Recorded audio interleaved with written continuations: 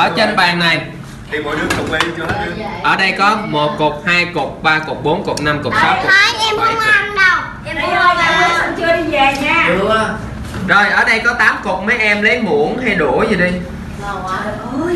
Bạn nào ăn được nhiều cục nhất bạn đó chiến thắng. Cứ một cục là một clip một cục trị giá một clip Nhanh lên, nhanh lên Trai ơi, cố lên Trai ơi, cố lên Tion sẽ làm phim cho mấy bạn.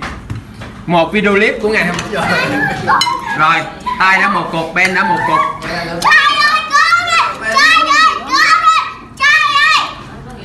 Mỗi bạn một cục rồi. Ủa, mỗi bạn mới ăn có một cục thôi hả?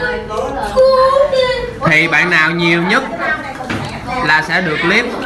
Cứ một cục là đổi ra một clip mà bạn nào thua là coi như mất hết clip chỉ có bạn thắng là được ừ, thôi.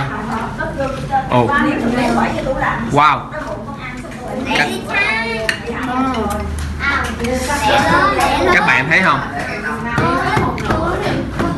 Bạn Benjamin đang thể hiện khả năng ăn uống quá nhanh nhẹn của mình. Wow. Trời ơi năm cục sáu cục trai cũng sáu cục nhưng mà sáu hơn xíu? Bạn mỗi bạn 6 cục hết rồi hả? Ai năm cục?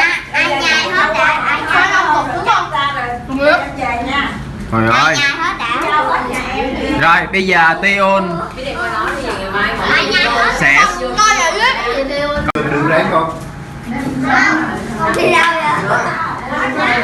Húp nước vô cho nó dễ. Không đi nước vô ai bỏ rồi đó Bỏ ăn mà muốn ói luôn hả? Bình tĩnh nha ai mà ói ra là không công nhận nha. Má tôi làm á. Wow. Sao bỏ rồi đó? Lát về mũi má nuôi nha.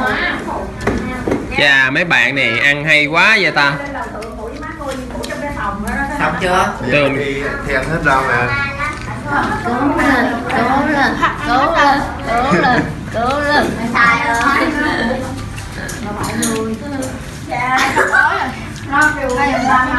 hai bạn này mạnh quá. Đừng nuốt hết luôn hả? Sao hai này mạnh ngang nhau vậy ta? Có lại với nhiều hơn ok bạn nào nhiều nấm hơn là sẽ được thắng. Sẽ được clip hai người quề nhau hả? Thưởng.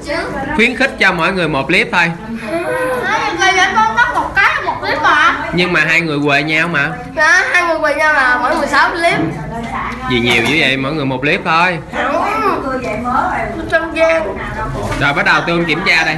Là tôi tôi nhớ là bên 6 cục mà con 5 cục mà. Xin thông báo Tion vừa xem lại thì thấy cả hai bạn đều ăn 6 cục nấm đều nhau. Bên chưa coi cho bên xem lại. Khuyến khích mỗi bạn hai clip. Ok không nói nữa ha. Rồi bye bye các bạn nha. Bye bye chương trình này hay quá